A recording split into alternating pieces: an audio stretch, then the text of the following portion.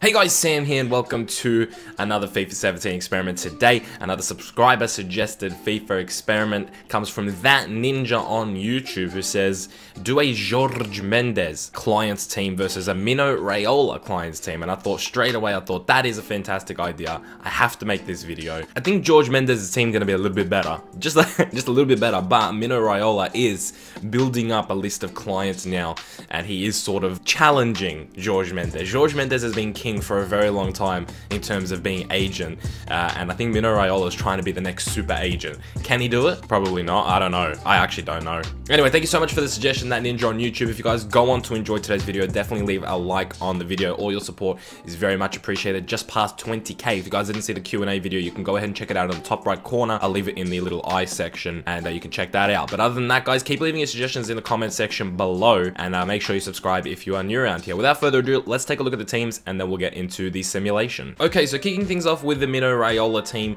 um, I decided which team I'm going to use by who the most lucrative uh, client of the agent is. For Mino Raiola, it is Paul Pogba, despite Ibrahimovic being the highest rated player in the team, and even if it was Ibrahimovic, his last team was Manchester United, if you want to go technical, because he's going to be a free agent, but technically uh, his last team was Man United anyway. So if you take a look at the Mino Raiola team, it's very, very good if you take a look at the strikers in the midfield. Very strong team. Ibrahimovic and Lukaku up front. That's Mkhitaryan behind in a cam position with Bonaventura, Matuidi, and Pogba as the midfield three. Then the back four is a little bit weak. Tete, Ellie, uh, Salomon, and Abate, and of course Donnarumma in between the sticks. A decent bench there, Balotelli, you got Kishna, El Kaddouri, but when I took a look at Mino Raiola, he doesn't have a large quantity of clients. Like he doesn't have that many clients compared to Jorge Mendes. So I think definitely this is going to be the weaker team, but let's just take a look at Jorge Mendes' team first, before we make any judgments.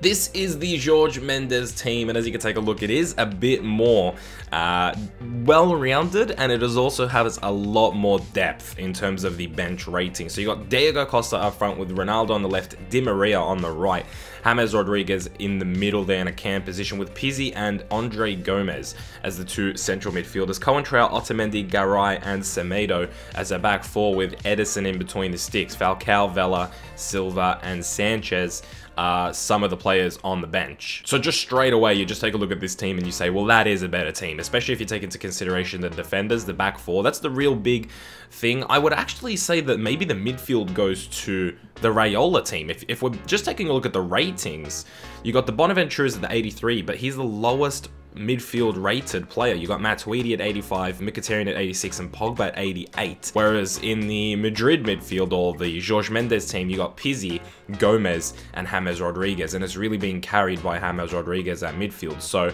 I would probably edge the midfield to the Mino Raiola team, actually. In terms of the front threes for both the team, I mean, you got Ibrahimovic, Lukaku, and Mkhitaryan, I guess you could say versus Ronaldo, Costa, and Di Maria, and they're pretty even, but you gotta give it to the Jorge Mendes team, right? He just has better ratings there, just no doubt about it. And then the back four, you definitely give to Jorge Mendes. The goalkeepers are pretty close though. Donnarumma versus Ederson, it's not too far off, and I think goalkeepers really do play a massive part in simulation.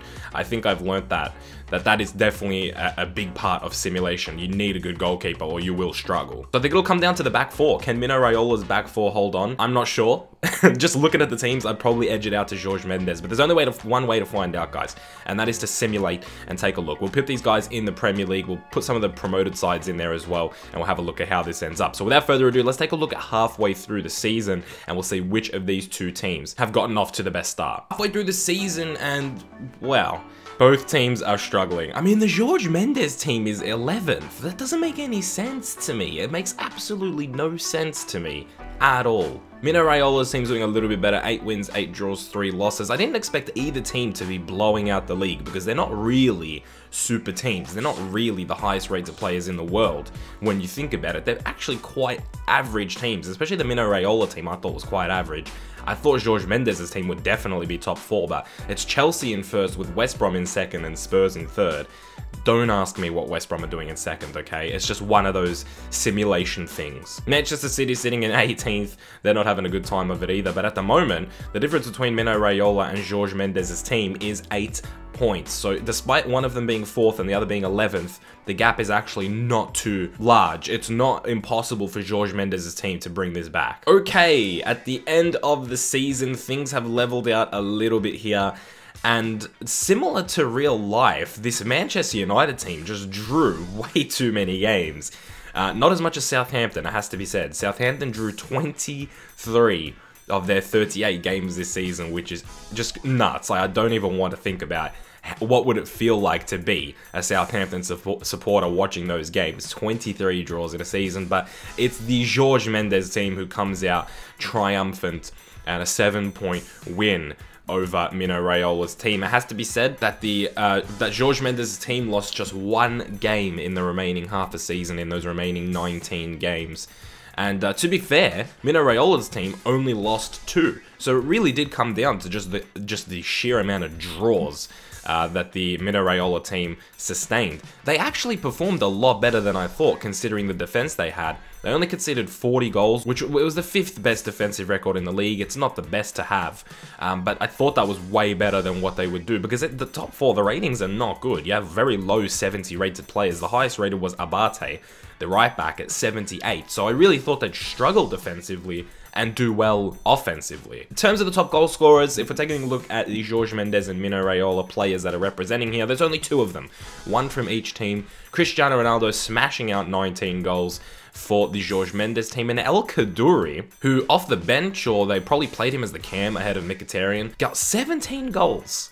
Not bad from El Kaddouri. Hats off to you, sir. Great performing. 17 goals. No one else made it though. No Ibrahimovic, no Lukaku, no Diego Costa. No one. No one else had 12 or more goals. That is it, guys. That is the end of today's experiment. I hope you did enjoy this one. Um, thank you for the idea, that ninja on YouTube, a fantastic idea, and I'm glad that you commented it. And it just goes to show that you guys just have to comment, and you never know what's going to catch my attention, to be honest with you. This was just a comment that I got just yesterday. Um, it just came up in my notifications, and I'm like, okay, I have to do that. It's such a fantastic idea. It's not always the ones that are the most well-liked, although I do take a look at them as well. So definitely leave a like on the comments that you, you think you want to see those ideas, or you think that would be an entertaining idea as well, because it definitely does help. But sometimes I just pick things just randomly. They'll just it's just the most recent comment and I'll just pick it randomly because, hey, it's a great idea, no? That is it for today's video, guys. Like I said before, I really hope you did enjoy this. If you did, make sure you leave a like on the video and subscribe if you are new around here, but I don't want to waste any more of your guys' time, so thank you so much for tuning in. As I said before, I hope you did enjoy today's video. I hope you had a good day. I will see you guys in the next one very soon. Keep it real.